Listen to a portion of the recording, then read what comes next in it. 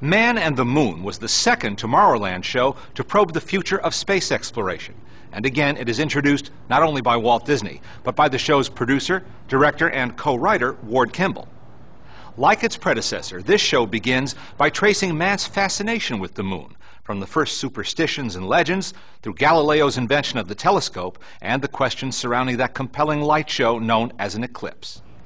It also shows us how prominently the moon figures in our culture, from the works of William Shakespeare to the words of popular nursery rhymes. There's even a parody of an old Tin Pan Alley popular song called Ah, See the Moon. This whole segment of the show is brimming with visual puns and whimsical sight gags so typical of Kimball and his collaborators, including John Dunn, who a decade later provided visual gags for the Pink Panther cartoons. The graphic design in this part of the show is bold, modern, and witty, a far cry from what people think of as typical Disney. But the real star of this program is Wernher von Braun, the brilliant and forward thinking scientist who lays out for us step by step what will occur as man approaches the task of flying to the moon.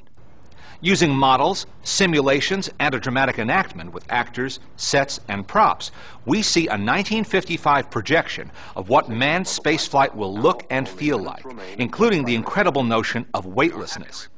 We even see how tomorrow's astronauts will deal with an emergency in space, using robotic arms to patch a dangerous leak in one of their vessels. This was science fiction made real through the extraordinary efforts of Walt Disney and his team. It made its debut on the Disneyland TV show on December 28, 1955, and was rerun four years later under the title Tomorrow the Moon.